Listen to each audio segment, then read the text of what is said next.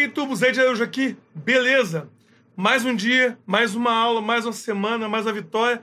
Essa semana eu tô postando a aula atrasado um dia, porque o bagulho não tá mole não, molecada. É a 117. São 117 semanas a gente postando conteúdo para vocês. Bom, e hoje eu vou falar um pouco sobre é, uma coisa que eu não falei ainda no canal, eu acho que nenhuma vez. E é difícil um assunto que a gente não repetiu aqui.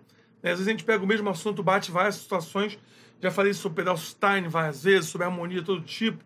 São 117 aulas, é difícil um assunto que eu não abordei aqui pelo menos umas duas vezes. Eu queria falar um pouco do foco aqui hoje. Se você estuda piano, estuda teclado, ou porque você comprou um curso, ou na internet, mas eu ainda acho que vai ser muito útil para quem faz algum tipo de estudo de piano ou de teclado, tá? Por que, que vai ser útil para quem tem algum estudo, Ed?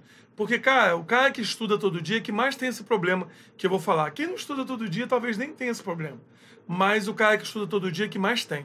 Então eu vou falar de um assunto que vocês sempre me cobram e me perguntam muito nas redes sociais, nos privados e tal.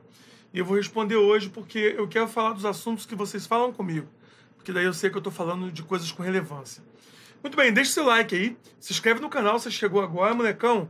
Aqui é um canal de música e adoração. Então, puxa a cadeira, vamos estudar o Senhor conosco, vamos estudar. Prometo que logo eu vou voltar com as aulas de violão. Vocês têm me cobrado bastante, eu entendo. Mas é que enquanto não acabar, cara, o TVT, o primeiro TVT, não vai ter como eu fazer mais nada. Eu até já era ter postado uma aula do piano solo, que eu prometi que ia botar no final do ano e no começo do ano. A do começo do ano eu não postei ainda por conta do TVT. Faltam só quatro aulas agora para terminar. Já postamos a aula 19, postar agora a 20, vai faltar quatro aulas só. Aí, quando eu acabar com o TVT, minhas costinhas ficarem menos judiadas, eu vou poder voltar. A pessoa fala assim, por que, que o TVT dá tanto trabalho? Porque eu posto os quatro módulos num dia, eu, eu preparo quatro aulas, depois eu vou sento, filmo quatro aulas, depois o pessoal edita as quatro aulas e é postado.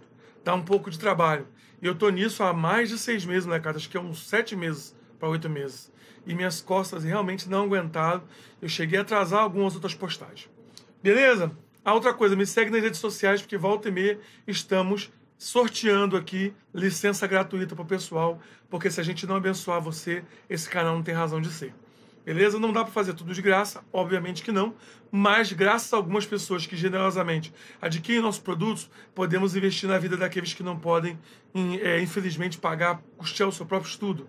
Então, inclusive a aula de fim de semana é fruto da generosidade da galera aí que sempre compra os nossos treinamentos. Vamos falar então de, de, foco? Então vamos lá. Hoje a aula é sobre foco. Pode parecer uma bobagem falar de foco, mas não é. E uma das coisas mais difíceis é convencer o seu aluno a ficar focado no treinamento dele. E, e aí que entra o problema de você ter cursos online. Qual é a diferença do curso online para o curso é, num, conservatório? Toda a diferença do mundo. Não diga que treinamento online é melhor, porque não é, cara. Que isso, Ed? Mas você vende treinamento online? Sim, cara. Porque ninguém tem tempo hoje em dia. E você vai se virar com o tempo que você tem, irmão. Então você pode fazer um treinamento online com um professor que você entende a, a linguagem dele. E você acha que esse professor tem condição de te treinar melhor porque ele fala uma linguagem que você entende, ou porque você tem algum outro tipo de afinidade com o professor, que bom. Mas a verdade é que a aula presencial, ela tem toda uma cerimônia. E cerimônia é um segredo. Por isso que as coisas de Deus, tudo tem cerimônia. Porque sem cerimônia, banaliza tudo e as coisas perdem importância. Ou seja, você tinha um horário na semana que você ia até a casa do seu professor, ou o professor vinha na sua casa, você sentava no piano, naquele horário você não podia conversar com outra pessoa, que seria uma falta de educação com o seu professor. Hoje você tem um professor virtual, aí o que você faz? Você assiste 10 minutos de aula e vai ver um vídeo no YouTube, recebe um vídeo no WhatsApp, dá uma risada, desconcentra. Aí eu pergunto, se eu que estudei de cara pro professor e muitas vezes eu não peguei a matéria. Imagina você que está estudando e vendo feed do WhatsApp, do Instagram. Cara, você não vai aprender, irmão. Que isso, Ed? Como é que você diz que não vai aprender? Eu falei, claro, aprender é muito difícil, cara. Aprender significa aprender o conteúdo, fixar na sua mente, depois interpretar esse conteúdo no seu cotidiano de aprendizado. Ou seja, eu falei sobre campo harmônico. A pessoa, não, campo harmônico eu já manjo. Claro que você não manja, cara. Você começar a tocar campo harmônico, você vai falar, não, isso é jazz. Não, é jazz. Tá? Eu faço um Ré menor, um Dó sustenido, isso aqui é campo harmônico de Dó. Não é Ed. É. Sabe por quê? Se ele é um dominante substituto e está previsto no campo harmônico, ele faz parte do conhecimento do campo harmônico. Ah, não, é que isso aí eu acho que eu não peguei essa aula. Pois é, e quando você vai tocar, você vai escrever uma faixa? Gente, se eu esquecer alguma coisa é porque eu perdi uma aula. Não, cara. Falta de foco é o seu maior inimigo para você não aprender música. Como é que é a sua rotina de treino do que você estuda? Não, estudei, entendi, agora vou treinar. Como é que é a sua rotina? Quanto tempo você passa por dia? Não vem com esse papo de duas horas, porque ninguém hoje em dia tem duas horas. É possível que tenham pessoas que me veem agora, nesse curso, que tenham duas horas para estudar? É possível, mas é improvável. A maioria não tem.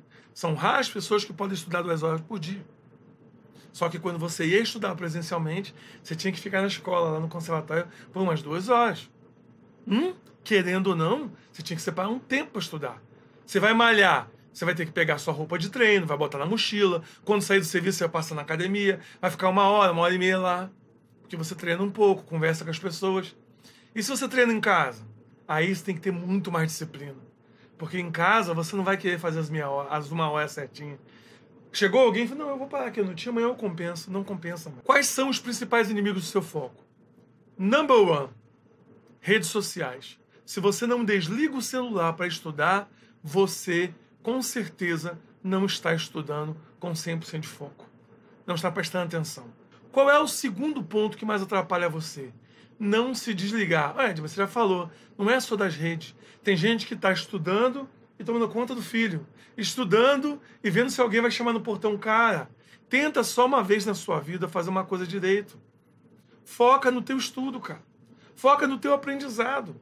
Você está estudando o que hoje? É harmonia? É não assista nada sobre improviso. Olha que pintou um vídeo legal, eu vou parar. Se desliga, cara. Terceiro ponto, você vai tomar um susto comigo. YouTube. Tem gente que pensa que assistir um vídeo do YouTube é estudar. Não é, cara. Olha esse cara, toca muito, é um monstro. Esse cara é um monstro.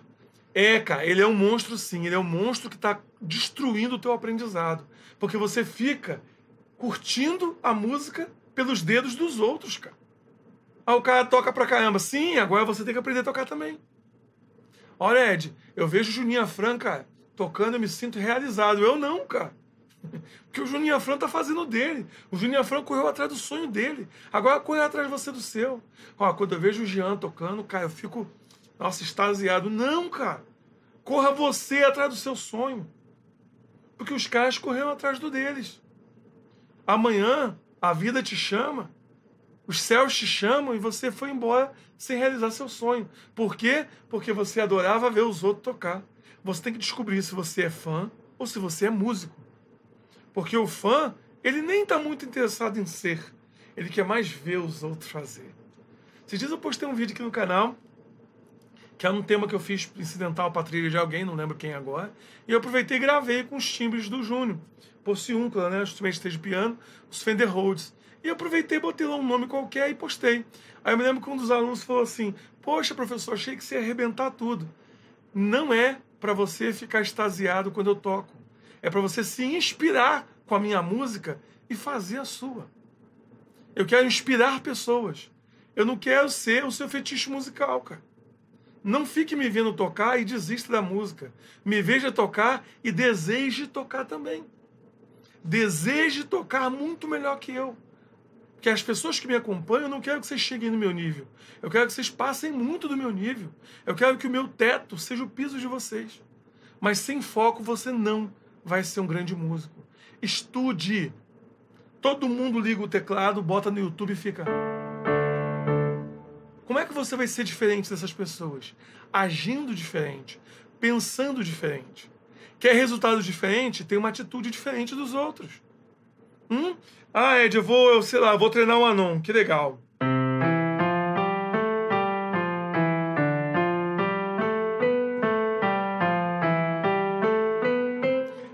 Eu vou fazer o seguinte, Ed. Eu vou dar é, a tônica na segunda nota.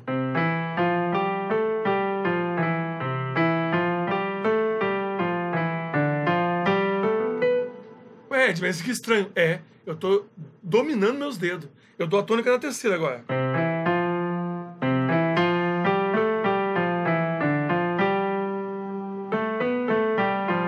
Você entendeu? Aí agora eu vou tocar bem lento e vou afundar os dedos para poder ganhar força.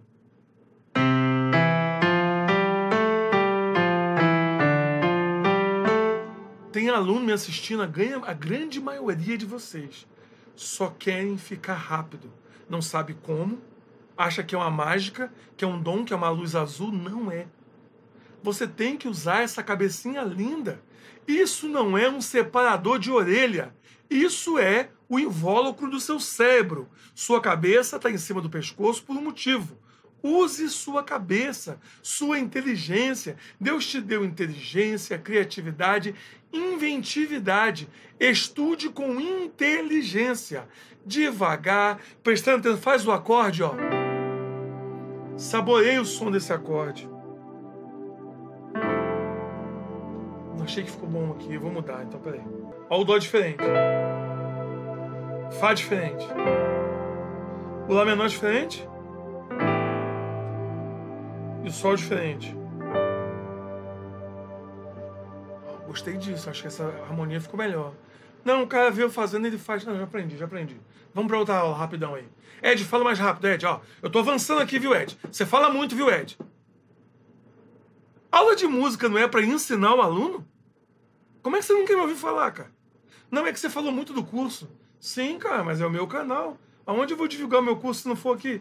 Fala, galera. Ed Araújo aqui. Pausa rápida, fica tranquilo, não pula não. É só para dizer que a nossa promoção de Páscoa tá para acabar. Isso mesmo, onde você consegue o nosso curso, dicionário de acorde, tá? Foi o curso que causou mais rebuliço em janeiro aí.